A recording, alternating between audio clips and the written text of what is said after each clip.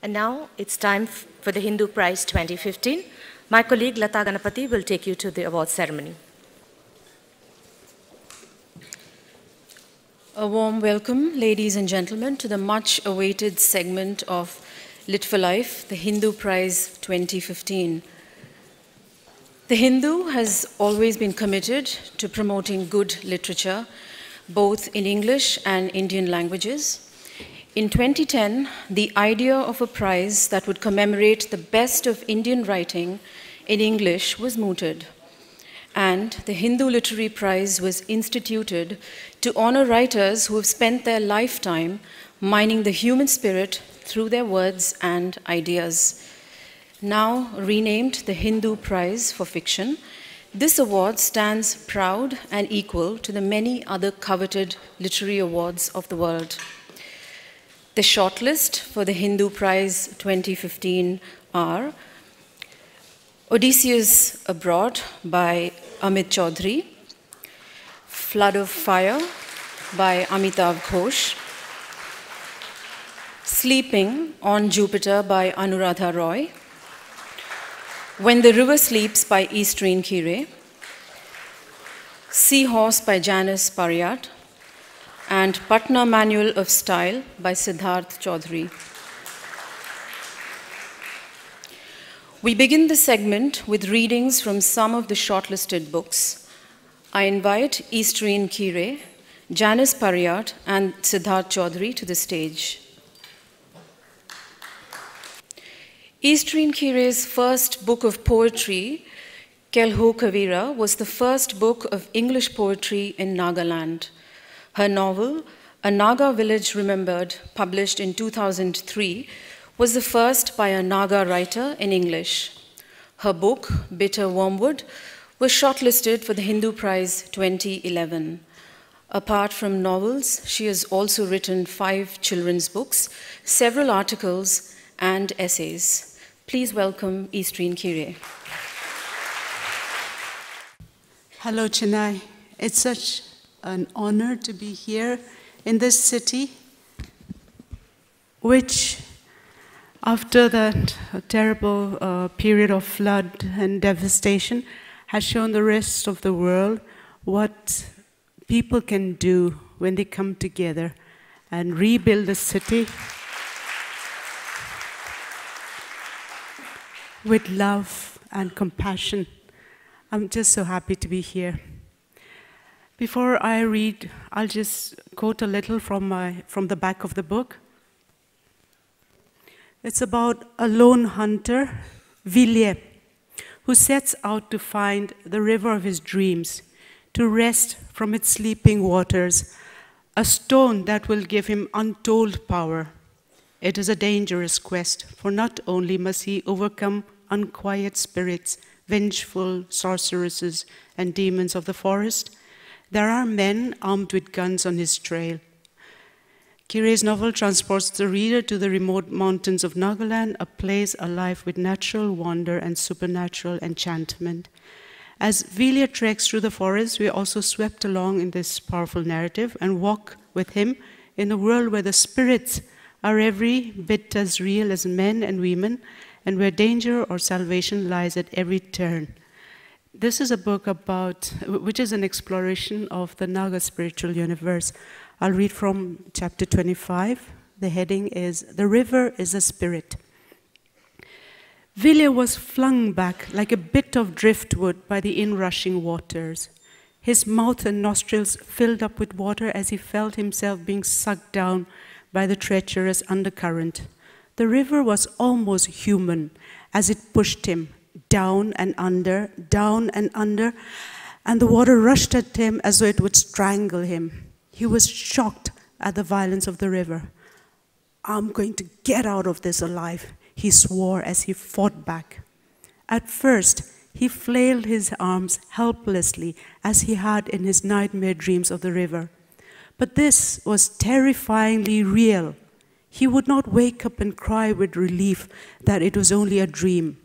This was as real as real could be. Then he stopped struggling and concentrated instead on the spirit words he had learned. Sky is my father, earth is my mother. Stand aside, death. Kepenyopfe fights for me. Today is my day. I claim, claim the wealth of the river because mine is the greatest spirit.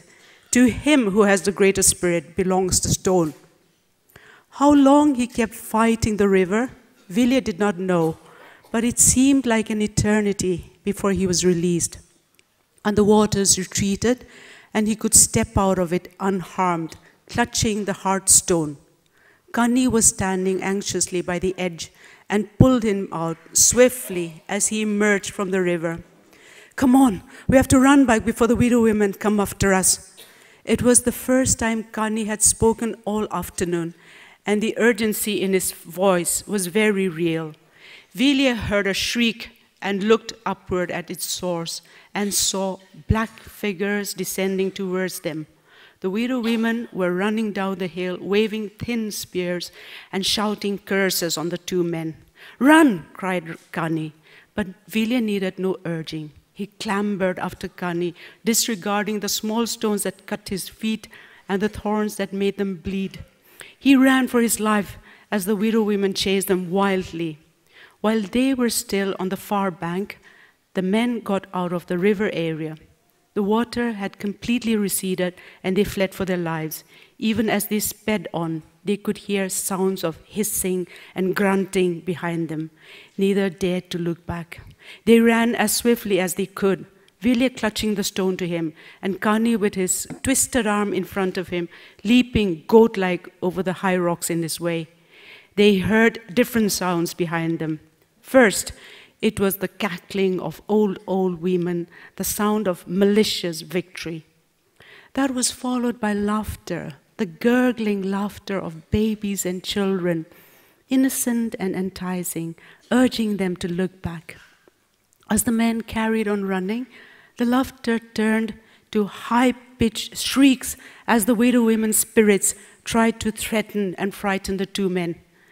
When they reached the outer path, which marked the boundary between the sleeping river and the border village, Kani shouted at the widow women, Back!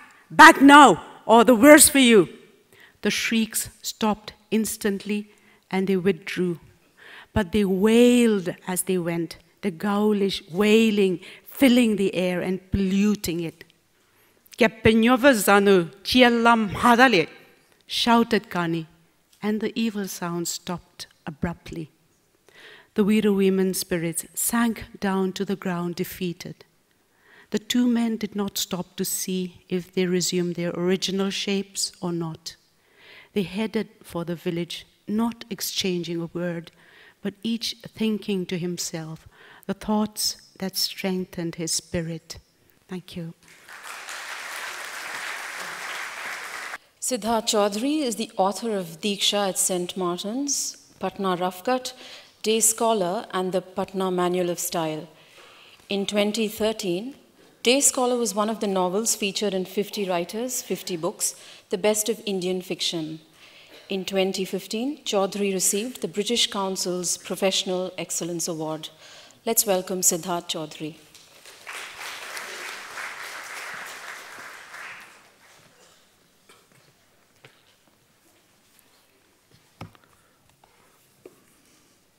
Uh, I'll read from the first section of the volume. It's called The Importer of Blondes.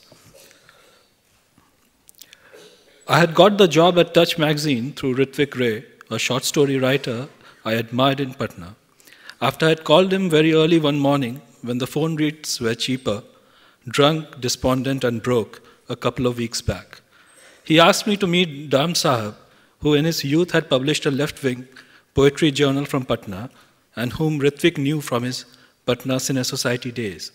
For many of us young writers in Patna and Delhi in the 1990s, Ritwik Ray was someone we all looked up to.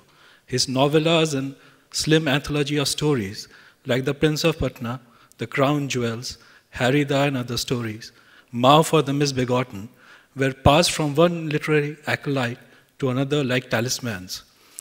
It was the Masonic handshake that guaranteed lifelong friendships. From his stories, we learned about socialism and how to use it while writing political fiction, this side of polemic. He was our own private Kotahar, our Trumbo, our Zahir Zed Abdali, our Kashinath Singh. His was the shining path we wished to traverse. We copied his look, noticed his style, or the lack of it, the full Hemingway beard with its flecks of premature gray, the thick reversible Khadi Gramodyog Bhavan Bandi over the regulation white shirt and denims in winter, the police surplus store khaki satchel and the gleaming black Yazdi, his pride and joy, on the back seat of which sat the latest prototype of Meera Verma, his great lost love, dusky in cottage emporium saris, gold-lined eyes, concealed by Ray-Ban wayfarers, troubled and aloof.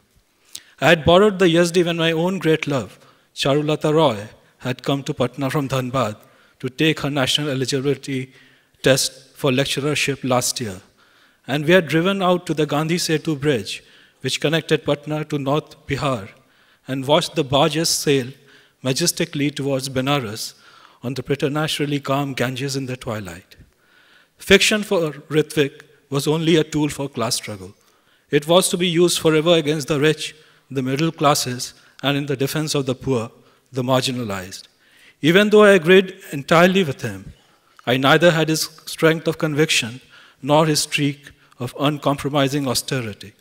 I was forever in doubt, and moreover, po- poverty didn't agree with me. Take the job if he offers you one, even though I must warn you that the magazine he publishes is just about rubbish. Work on your novel. That's the most important thing. Besides, money is always welcome. Just hang in there till I set you up with something in publishing soon. Ritvik's voice, as calm and warm hearted as ever, even though it was just before five and he had a quarter bottle of Old Monk, a night habit.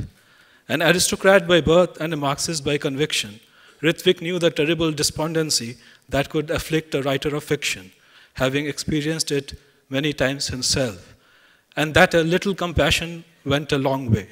In a day or two, everything would be fine. God bless him. Thank you so much.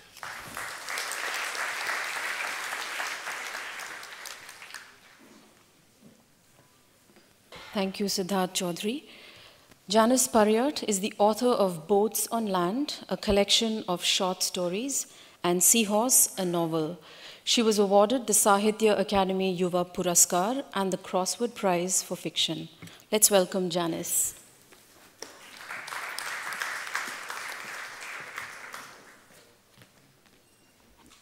Good afternoon. As Easterine mentioned, it's an absolute joy to be here. So um, thank you for coming along.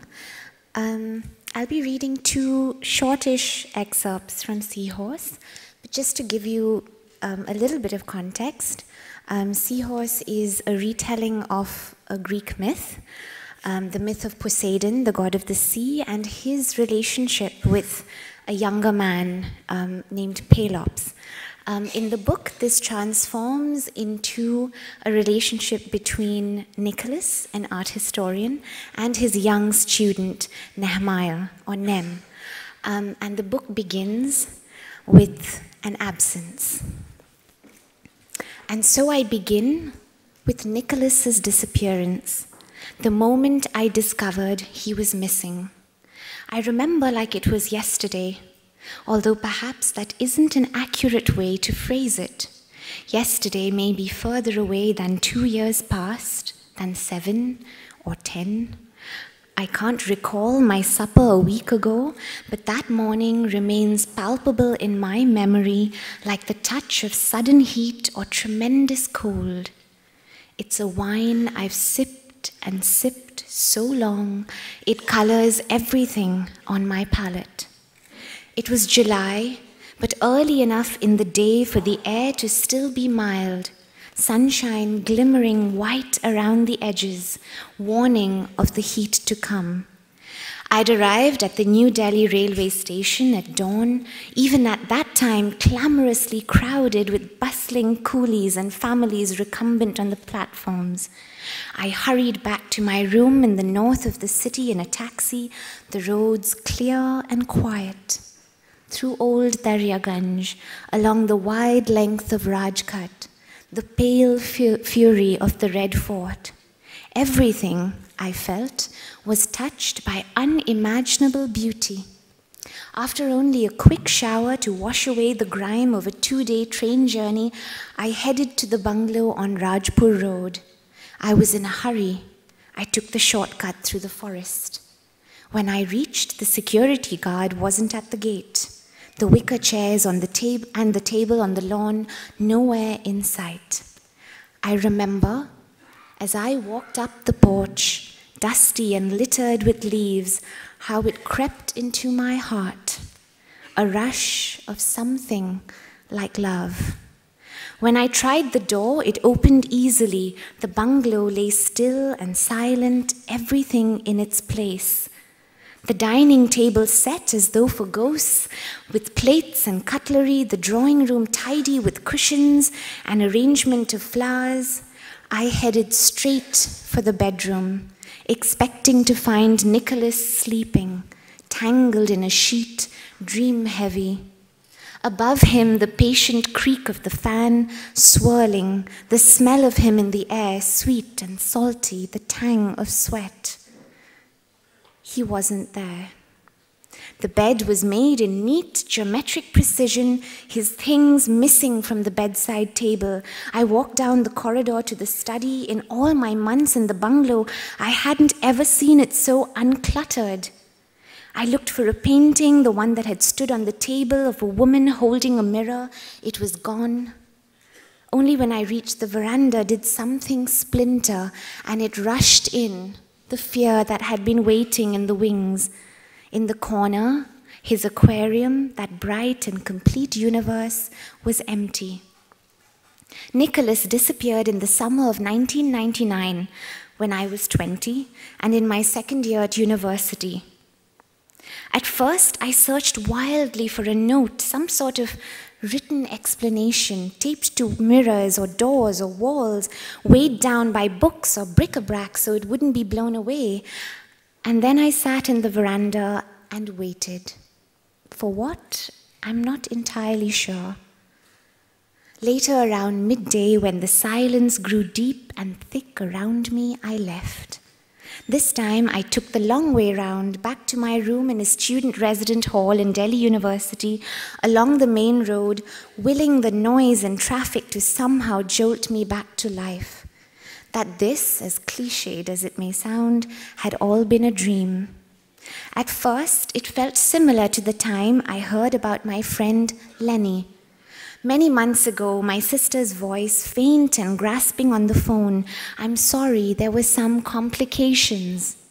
Yet this was not death, for death leaves behind modest belongings, the accumulated possessions of people's lives, their books and jewelry, a hairbrush, an umbrella.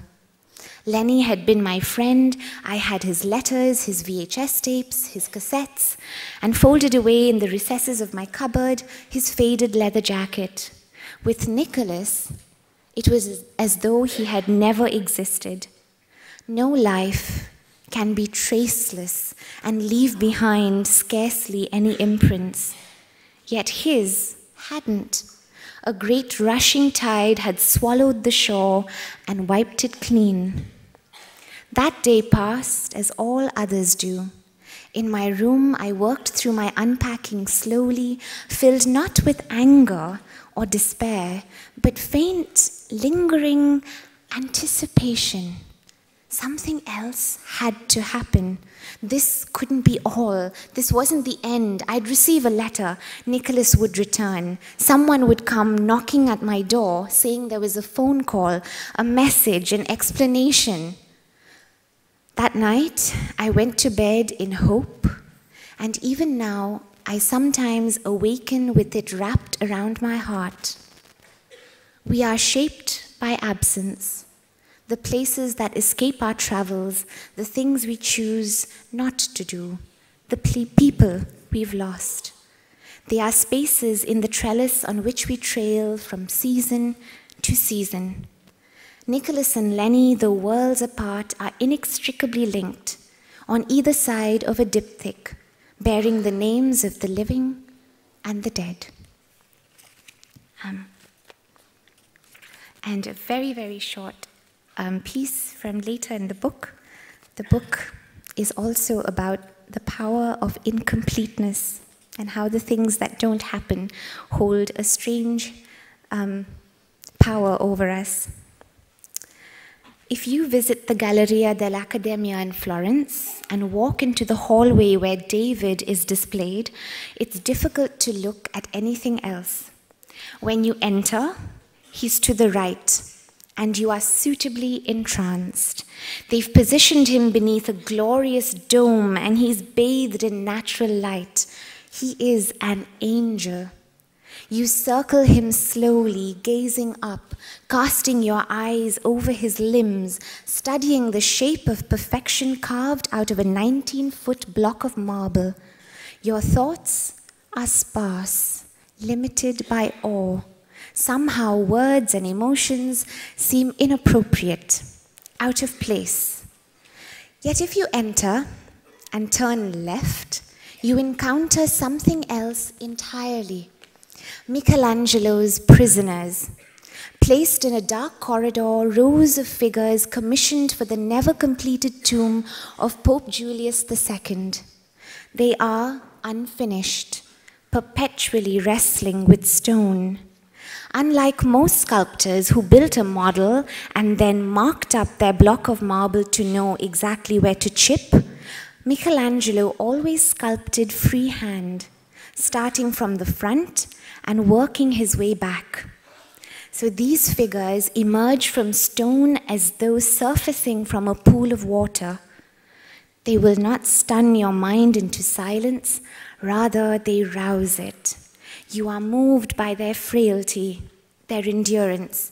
They are endless metaphor, an infinite possibility much the same as anything unfinished in our own existence. We treasure the incomplete, for it lends us many lives, the one we lead and the million others we could have led. We are creatures of inconsistency, passionately partial, unexecuted, unperformed, undone, unaccomplished, and unconcluded. David will only be David. Thank you. Thank you, Janice Pariat. I now request our shortlisted authors to take their seats in the auditorium.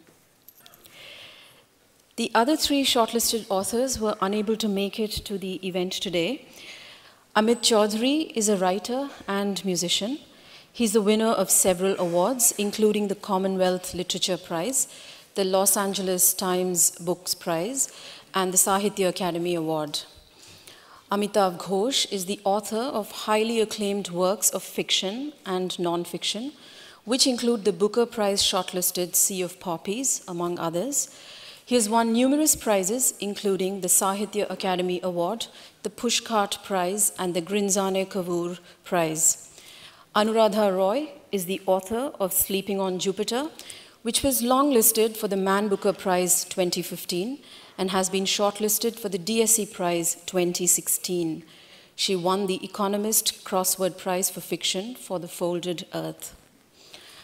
I now request our chief guest for the award ceremony, Alexander McCall Smith, and our judges, Antara Dev Sen, K. Sachidanandan, Pradeep Sebastian, and Susie Tharu to take their seats on stage.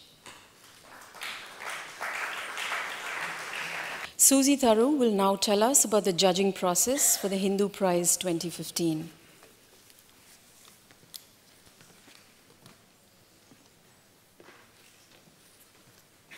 Well, I have this uh, difficult task of telling you in three minutes uh, about the work we did over about six months when we were reading these books uh, one time round, another time round, and so there are about 60 books this year, quite a catch.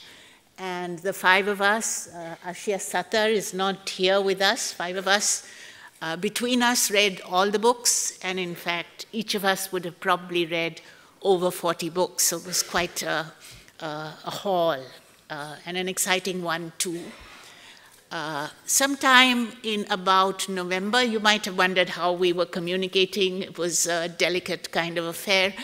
Uh, sometimes we felt the other person was telling us too much. We wanted to make up our own minds.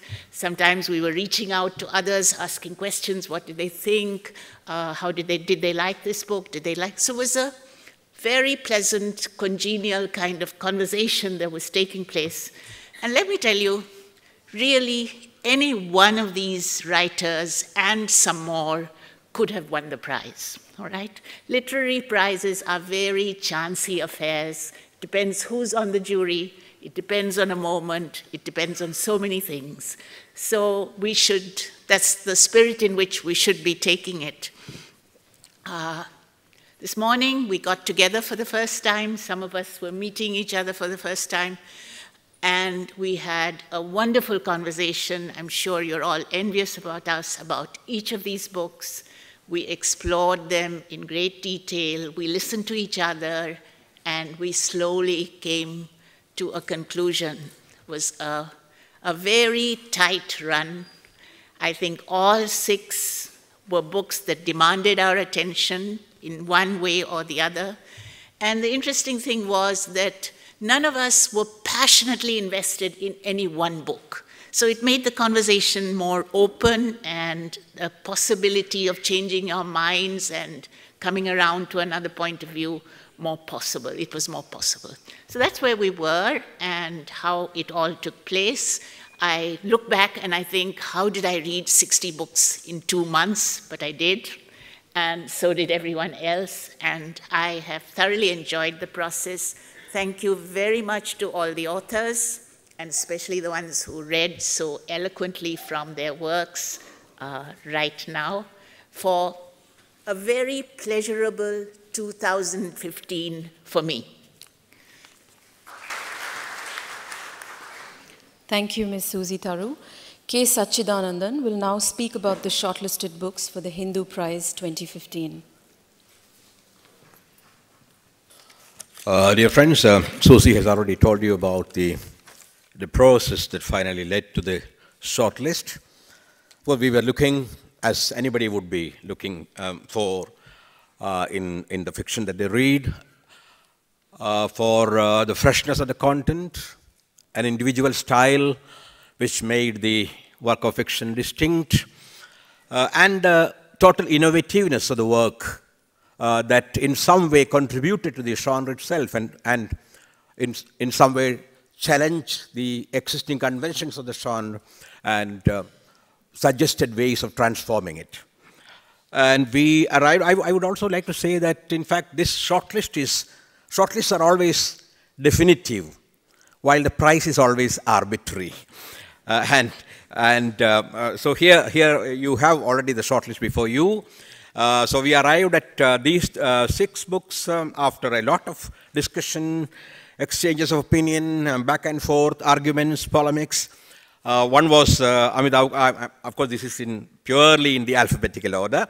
Amitav Ghosh Flood of Fire, because, because we found it was a, it was a novel of epic proportions of, um, um, and it had a profound pathos at the center of it, and its, it, its scale, it's, uh, it's very proportionate, it's epic, it's epic range. These fascinated us, and also the kind of intellectual rigor that he brings into uh, his narration. Then we had Amit Chaudhuri, Odysseus Abroad.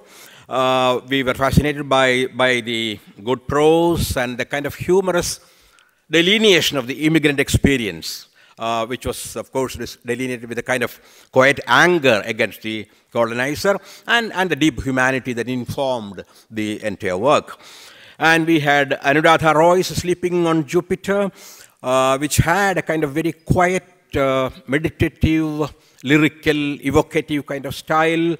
And it also offered a kind of critique of violence, which seems to be extremely relevant to our times, and also a critique of religious hypocrisy and exploitation. And also, it's conjuring up of a place where uh, human emotions are played out in their diverse and uh, um, contradictory uh, incarnations. Uh, we had also Easterine Kire, uh, whose novel When the River, When the River Sleeps, is um, a fine example of how a kind of mythopoeic imagination can work in our times.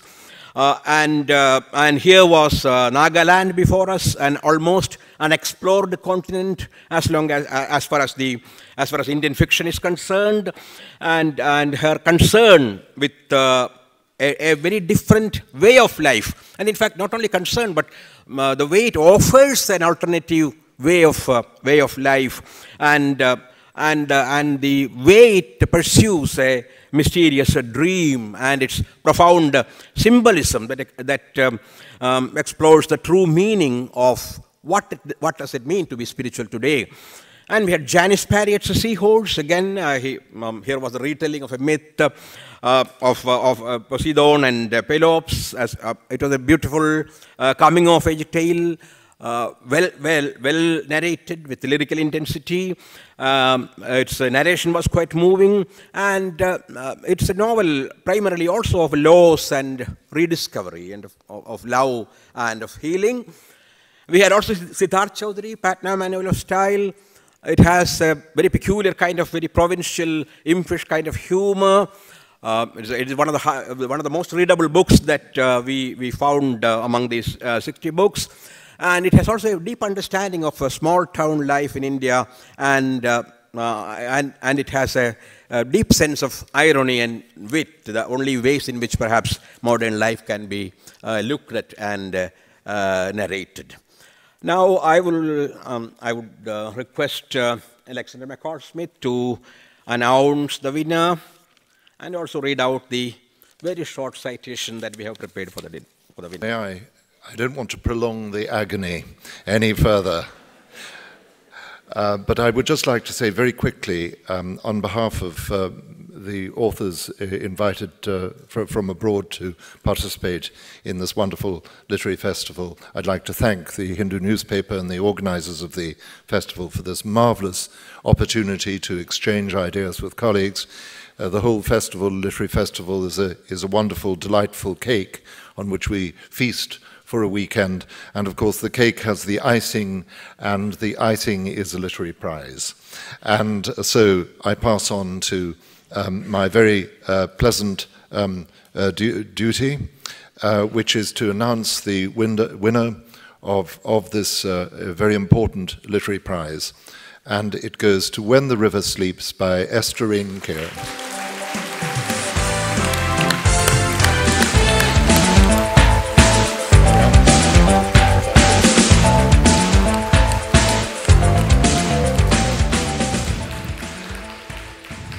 And here's the citation which goes with this prize.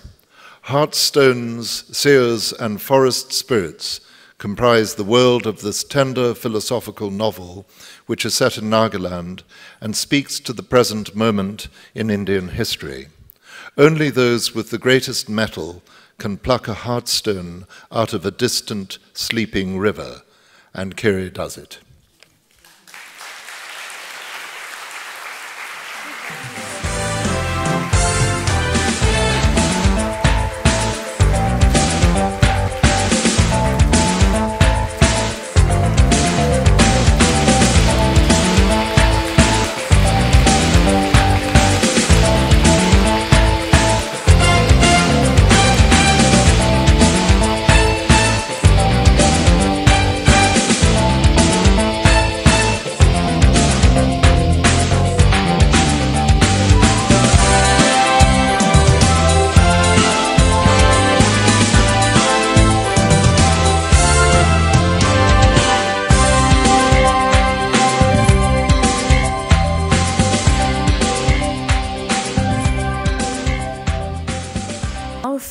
Words from the winner.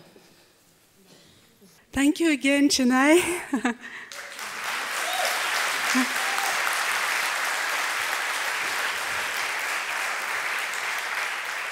Big thank you to the Hindu group, and I'm so honored. I'm just very happy at this moment.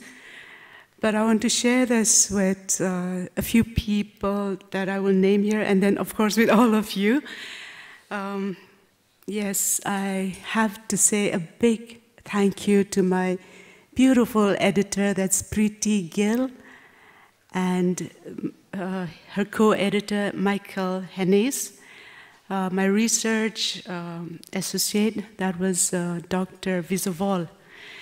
Then big thank you to my wonderful publisher Urvashi Butalia from Zubaan. Um, yes, and then I want to say that this is not my book. Uh, we've gotten used to calling it our book because there's a lot of people who embrace it as their book. So, a very, very big thank you to all my beautiful, beautiful readers out there who would probably watch this on film later. And then I want to say a big thank you to God. He gave me these stories. But I'd like to say it in the language that my uh, protagonist, Vilie, would have said. So I will say,